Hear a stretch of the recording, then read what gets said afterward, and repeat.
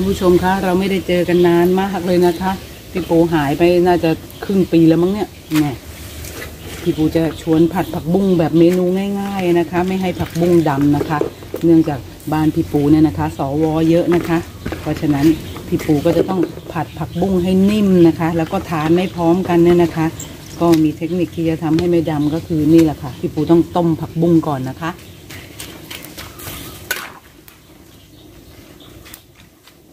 พี่ปูว่ามันทำให้เอ่อยางผักบุ้งเนี่ยนะคะ ออกไปบ้างอะนะคะ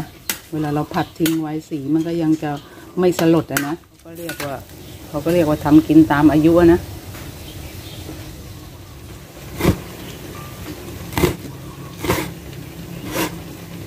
นี่เลยนะคะ พี่ปูก็ใช้เอ่อเปิดก๊อกน้ำเนี่ยนะคะ ให้น้ำไหลผ่านในผักบุ้งของพี่ปูเย็นก่อนนะคะ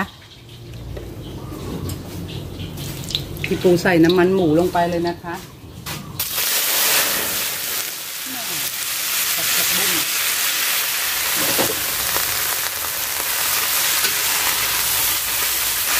วิ่งหลบไฟเกือบไม่ทันนะคะผักบุ้งใส่แดงค่ะ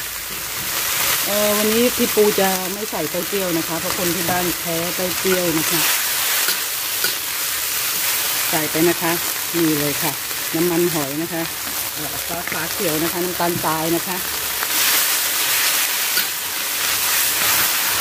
แล้วเราก็จะใส่ปลากระป๋องที่หลังนะคะใครอยากนัวใส่ไปก่อนก็ได้นะคะพี่ปูว่าเออบางคนเขาอยากได้เป็นชิ้นเป็นอันที่มันแบบน่าทานน่าทานนะนะเสร็จแล้วนะคะ กับข้าวมื้อเช้าง่าย ๆ ของพี่ปูนะคะ ติดคลิปเลย